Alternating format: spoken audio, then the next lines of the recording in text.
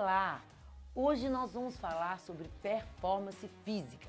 Como que eu posso envelhecer sem ter dor no joelho, dor na articulação, sem me arrastar, sem precisar de bengala, muito menos de cadeira de roda, nem de ninguém para me ajudar. Como que eu faço para envelhecer e manter toda a minha capacidade física saudável? Vai ser agora, daqui a pouquinho, depois que você curtir ou comentar aqui embaixo o que você quer saber sobre performance física, porque eu posso aprofundar no tema, mandar esse vídeo para as pessoas que você ama, que você acha que precisa e se inscrever no canal para você saber tudo que sai aqui na primeira mão e também para você ser avisado de tudo que sai, tá bom? Lembrando, gente, esse é um canal que eu criei para as pessoas que não podem se tratar comigo. Então eu ensino aqui tudo que eu ensino para os meus pacientes. Eu ensino a ter mais capacidade física, a emagrecer de forma mais saudável, sem extremismo, sem radicalismo. Eu costumo muito fazer vídeos baseados no que vocês me pedem. Eu dou muita dica sobre como emagrecer mais rápido, como ganhar mais metabolismo, como usar hormônio, o que disso de hormônio que é charlatanismo e o que, que é verdade, mitos e verdades sobre todas as coisas que surgem na mídia. Então tem muita coisa aí que pode te ajudar. E eu vou ensinar com a minha experiência e com meus estudos. Eu sou nerd, mas você não precisa ficar procurando no Google. Eu pesquiso para você, tá bom? Então, se inscreva no canal que você vai ter muito conteúdo para aproveitar a sua vida de forma mais feliz e saudável. Hoje nós vamos falar de performance física. O que, que é isso? É a capacidade de ir e vir sem ter que precisar de ajuda de ninguém. As pessoas costumam envelhecer e achar que, ah, tô velho mesmo, o que, que tem eu ter uma dor no joelho? Ah, tô velho mesmo, o que, que tem eu precisar de dar a mão para alguém para andar numa rua calçada? Não, gente. Para envelhecer é importante que você tenha performance. Se você está assistindo esse vídeo, é o seu primeiro vídeo meu, então eu vou te explicar. Envelhecer não é ter que apenas viver mais. Envelhecer é viver mais com capacidade física, mental, sexual, metabólica e defensiva. Senão para quê? Senão não é viver, é sobreviver. E eu tenho ensinado aqui no meu canal todas essas performances. Então dá para envelhecer sem sentir dor nas juntas? Lógico que dá. Como você vai fazer? Primeira coisa, tem duas atividades físicas que você tem que fazer até o dia da sua morte. Uma é musculação. Doutora Sarina, eu odeio musculação. Você vai ter que fazer mesmo com ódio. Se você me segue, você sabe que todas as manhãs eu malho com ódio. Por quê? Eu malho com ódio porque eu odeio musculação. Mas eu aumento minha serotonina, aumento minha dopamina, aumento minha adrenalina e eu saio do treino muito mais feliz. Então, mesmo você indo com ódio, não precisa mudar a mente nem ter motivação. Vai sem motivação mesmo. O treino vai te fazer bem e você vai sair melhor dele. Então, musculação, gente, ele é importante para fortalecer em volta das articulações, porque a articulação ela envelhece mesmo e ainda não foi inventado nada que vai manter ela com saúde, mas tem um substituto para ela. Quando você tem uma musculatura boa ao redor das suas articulações, ela nem precisa estar tá muito boa. A musculatura sustenta isso. Você sabia que tem jogador de futebol que nem joelho tem? Pois é, mas ele fortaleceu a musculatura em volta e joga futebol. Então é mesmo que vai acontecer com todas as suas articulações.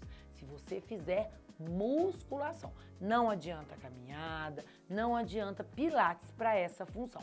Tem que trabalhar o músculo mesmo, pegar peso, tá, gente? A segunda coisa é o HIIT. O que, que é o HIIT? Tá? Tem live minha aqui no canal sobre HIIT. HIIT é um treino intervalado intenso, tá? É um treino de alta intensidade e intervalado. Por que, que ele é importante? Porque ele vai no seu limite. Então, ele estimula o seu corpo a ser melhor e ele causa várias alterações, principalmente a nível de mitocôndria, que vai fazer você melhorar sua capacidade cardiorrespiratória, seu metabolismo e até sua imunidade. Então assista os vídeos de HIIT você vai aprender a fazer certinho o que tem que ser feito, tá bom? Então, as duas atividades físicas mais importantes para você ter capacidade física são essas. Mas se você quer começar agora e vai, ai doutor, eu não posso começar já pegando um peso ou fazendo um hit super violento. Eu vou te dar uma dica. Você vai começar fazendo alongamento, exercícios localizados, que eu chamo de exercícios funcionais, para funcionar melhor. Então, um agachamento, uma bicicleta, uma caminhada. Para iniciar, vale qualquer coisa. O importante é você pegar o hábito e ir melhorando na sua performance, tá bom? Eu sempre aconselho a buscar um profissional para te ajudar. Por quê? Porque existem coisas que você tem que fazer de uma forma muito específica, numa postura muito correta, senão você pode mais atrapalhar do que ajudar. Esse é o primeiro motivo. A segunda coisa é que ele vai estabelecendo metas e vai criando estratégias para você ir progredindo nas suas capacidades físicas. E a terceira coisa é que ele nada mais é também que uma pessoa para nos motivar. Se eu tenho que malhar todo dia 7 horas, mas hoje eu acordei cansada, eu vou falar, ah, não vou não. Mas se eu sei que eu tenho um personal trainer me esperando lá na academia, eu tenho um compromisso com ele. Então isso me motiva a cumprir a minha promessa de estar tá lá tal dia, tal dia, tal dia, tá bom? Então, dica importantíssima. E como se escolhe um personal? Essa é ótima. Como que a gente escolhe um personal, gente? A gente tem que escolher um personal que a gente tem empatia, é a primeira coisa. Segundo, ele tem que ser um profissional bem indicado, com boa técnica. Mas a coisa mais importante de tudo é ele tem que ser assíduo.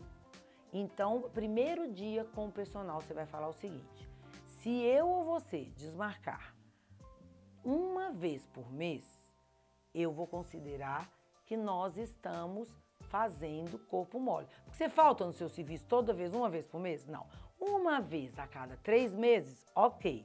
Uma vez a cada dois meses, razoável. Mas uma vez por mês significa que você não está me xingando bastante para eu não desmarcar ou que você está desmarcando e está sem compromisso comigo. Então, de qualquer um dos dois, se isso acontecer, eu vou trocar de personal. Então, o personal tem que ter assiduidade e não pode aceitar de forma nenhuma que você não tenha. Essa é uma característica muito importante do personal trainer, ok? Gente, na próxima semana eu vou falar de performance defensiva. O que é performance defensiva? É como ter mais imunidade para me defender das doenças. Todas essas performances que eu estou falando, gente, tá aqui no meu livro, Longevidade. Esse code é o código da longevidade de performance. Aqui eu tenho tudo explicadinho, tudo de forma mais aprofundada e de forma muito organizada e fácil para qualquer leigo entender. Qualquer coisa, se você precisar do livro, tá aqui o link de compra, tá bom? Se você tem alguma dúvida, você escreva aqui. Se você quer alguma live especial, escreva aqui, curta e se inscreva no meu canal para você ter todas as lives, todo o conteúdo de primeira mão, ok? Até quinta que vem.